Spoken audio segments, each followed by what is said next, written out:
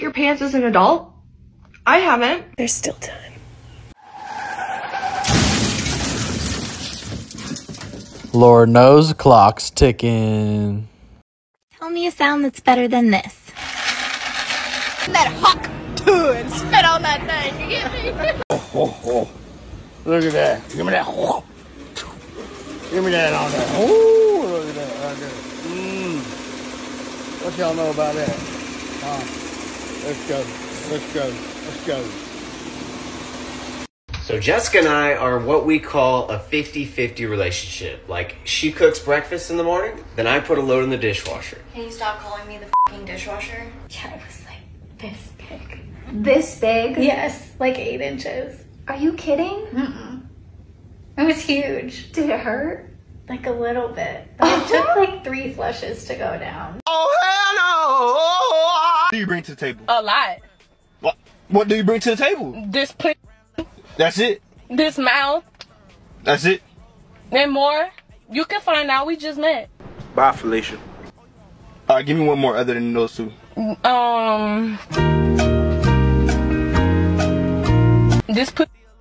You worthless piece of dog shit. Dang, these chicks really shit the bed thinking all we needed was pussy, huh?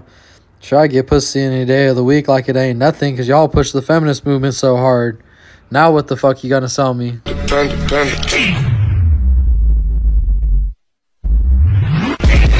I got broads in the If Jesus can't save these hoes, why are you trying? What make you think you greater than Jesus, nigga? Amen, brother.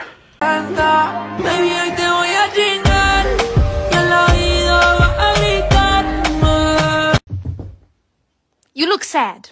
But I, I don't like that. I'm going to fix it. Open your hands. Squish! In. Handy triples again. Handy triples a third time.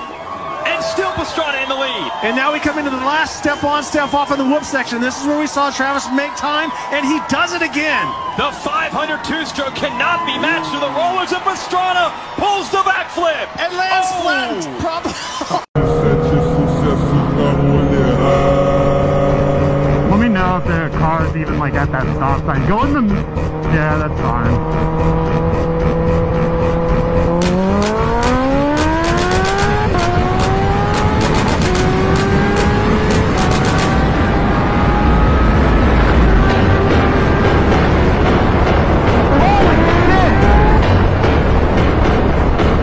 Every day that I'm alive, I understand where Donald Trump was coming from even more. And just saying that, just saying that is going to make some people, their heads turn into a bottle cap and you shook and fly off of their body. That's what, just because, be- and why? Like, think to yourself, like, actually why? It's like, well, I hate him. Why though? Why? Because somebody said. Because somebody told you to, dude. Because somebody told you to, or somebody told you something that he said. Almost all of the time, it isn't what he said. And Donald Trump is just one example. It's crazy. I used to think to myself, I was super liberal. I used to be super liberal. I used to be super liberal. And, uh, I literally, whenever somebody would say fake news, I thought to myself, immediately, my immediate reaction was, you dirty hillbilly. That's what I thought to myself. Everything is fake news. The man couldn't have been more right. Hey, I'm Amber. I only love men when they have money and big box. People think I'm a coke whore, but I've never done coke on weekdays. The only social media I keep is an OnlyFans. Subscribe. I made sure to bully everyone in high school. Why? Because it builds character for them. They got really hot after graduation. I've never paid for a single thing in my life. Why would I? I'm pretty. I never get sad. Why would I? I'm pretty. Hey, so she want me to help her with her cardio. So I told her that she smells like my ex today. Hey, look. Look what we got. hey, we been running for 20 minutes straight, y'all. Come on, baby. Pick up the speed. Pick up the speed. Pick it up. There we go. Come on, my ex look better than you. She got a fat ass than you. She look better than you. Come on. Slow ass. Making my way downtown, being fast, selling ass. I'm a hoe now. And I need you. I laugh every time I hear people saying, yeah, you know, I don't like working for other people. So, you know, I, I want to work for myself because I want to set my own hours. Yeah, right. Let me tell you what, when you work for yourself, there's no Christmas, there's no fucking Easter. There's none of that shit when you work for yourself. In the early days, you're working through all those holidays. Every day something bad happens. Every day there's problems. Every day somebody's trying to fuck you and take what you've built and it's a war. Guys, that's a war that's well worth it and it don't last forever. The shit gets easy as fuck if you really put the time in, you treat people right, you're honest. You started a business you evaluated and you knew it'd be profitable from the start. I'm telling you, man, my life has never been better. There's nothing more rewarding to have pride in and to be proud of yourself, what you created. So get out there and do it and don't be discouraged. Show yourself, and then what you're fucking. There's too many guys walking around believing that they've made multiple women finish on this earth, so I just wanted to set the record straight real fast. You didn't do it. She faked. She faked it. Who cares? Still fucked. Man, it's so sad that half these girls ain't busting a nut in real life. You gotta be the change you wanna see, guys. It ain't that hard. And I took the easy way out, which was okay, what's the next dick? Because there's always gonna be, you know, Dick. dicks. You feel? a dick is like an oxy, makes you forget about the pain from your last relationship and you just need more oxys. You feel? when you do that a lot, it really fucks up your your mind because those men nine out of ten don't really give a fuck about you. And when you meet a nice man, you wouldn't even realize, oh, like this is real love. And you will fuck that up too. I'm gay. I'm a lesbian. I am actually pansexual. I am transgender.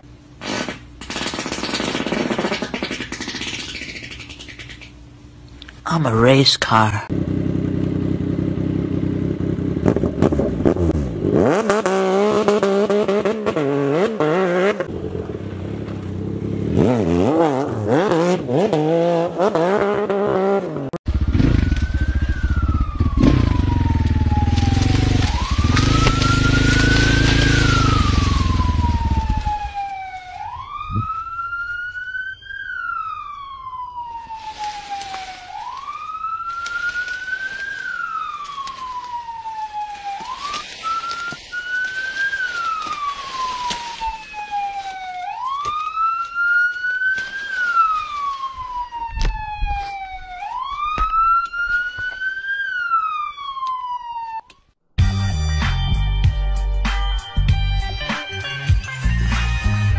It's giving well fed. It's giving she don't miss no meals.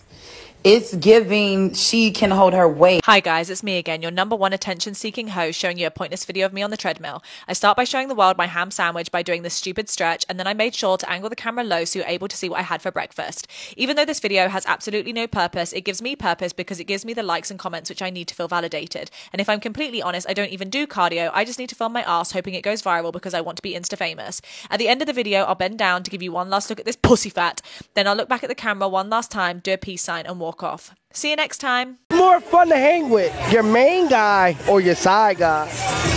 It's always the side nigga. That's why you like have the side nigga. My side guy. Side nigga always. I don't have a side nigga, but my side nigga. I'ma say the side nigga. The side guy for sure. Only because he fucks me better than the main nigga, but we keep the main nigga for stability. Side guy, for sure. Definitely the side nigga. Okay, I feel comfortable with my main nigga. He's gonna make sure I'm okay. But that side nigga finna blow my motherfucking back.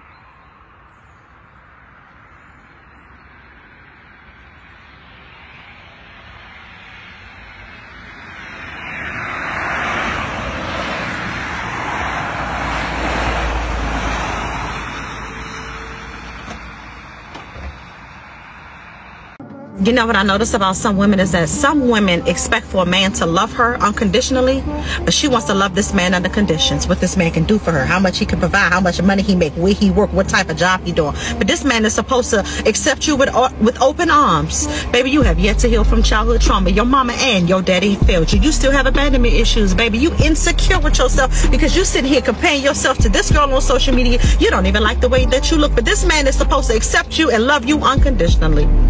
Mm, have you checked on that man's mental health? Have you called him and asked him, is he okay? Did you tell him that he was a king? Did you make him feel like that? And a lot of women say it's not my job to shape and mold a man. That may not be your job, but it ain't your job to damn sure as hell stress that man out. But he gotta love you unconditionally and take you and your badass kids. I'm sorry.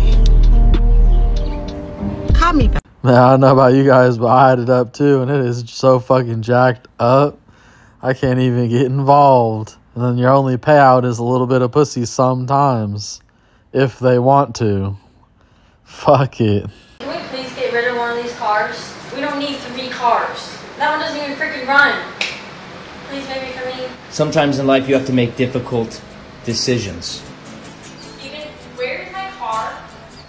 Steven, where the f- is my car? Thank God this was not one of those times. All right, y'all. Let's see what I got for y'all today.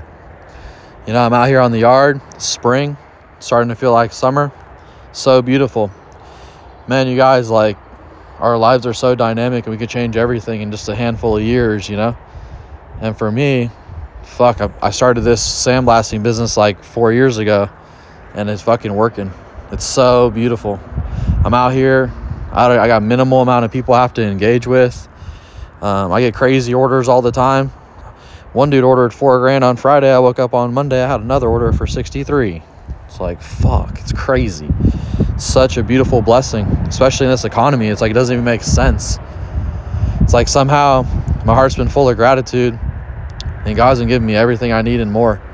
And uh, in times where it's not, I thought it's not even really possible, you know, like how could the business be doing so fucking good? And how did I like, you know, well, this business was hard for a few years, guys. I guess that's really part of it, you know, is that um, it takes time to learn the secrets, to learn the tricks, to become better. And it's like two years of, you know, constantly learning, constantly putting out fires. But eventually you become stronger, your stamina is better, your brain is sharper. Uh, you've learned how to deal with the stress and not care. And man, you know, it just now it's just child's play. It's just a game.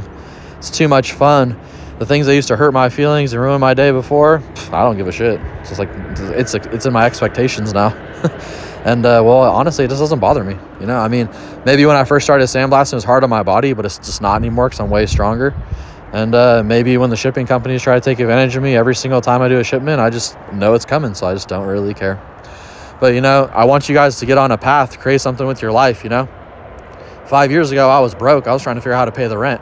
In fact, I had lost another business because I had it had done so well. I got my other business partner a little bit of money, and he started acting terrible. So uh, you know, I wanted to do something about it, but I put all my energy into this business, and God bless me. You know, it's the first time I didn't let my immaturity take over and try to do something about it. But uh, you know, like I said, five years ago I was fucking broke, and I was trying to figure it out. And uh, I put a lot of irons in the fire, and things happen. So, but I just encourage you guys to get on a path because the joy I feel today, the gratitude I feel today, standing on my other property, um, in the sun, perfect temperature, hella orders, money's perfect, and when you fix the money problem, dude, your life feels way fucking different. So, yeah, guys, you can do it. I swear to God, you can. And they say a lot of businesses fail, but I'm not sure if they fail really. If you analyze it properly before you start, the chances of you doing good is high. And, uh, you know, for me, like I have different businesses. One I had to kind of stop doing. It was breeding the rats. And so I was breeding the rats. I was making probably a thousand dollars a week, taking about three, four hours a week to do the whole thing. And, uh, well, you know, I got a cheaper deal and well, I need less responsibility. And I got all these YouTube channels and stuff. And it's not that the business failed. It's that I outgrew the business. I had to let it go. I found a better deal, like where people could just, I just buy rats for a dollar. So it's uh, literally, and now I can still drive them to the pet store and double my money and sell them for $2 if I want. But, you know, I have a lot of shit going on. So did the business fail or did we outgrow the business, you know? So sometimes your other businesses do so good, you got to let go of another one. And, well, they'd count it as a fail. So get out, get involved, guys. You can't trade your time for money and feel like this. You can't trade your time for money and really get super wealthy. You have to figure out how to get paid by the job. So figure out how to create value, figure out how to solve someone's problems that they can't solve. It's just that simple. Do the things that other people won't do. All right, y'all. I always appreciate you listening in, and I really, I'm, I'm saying all this to encourage you guys. I want y'all to feel what I feel. I want y'all to feel successful. I want you to feel like you gave it your all for years and it, a couple years, and it fucking paid off because it feels so fucking good. That delayed gratification is on point. All right, guys. Appreciate y'all listening in. Please like, share, and subscribe, and we gonna see you on the next one.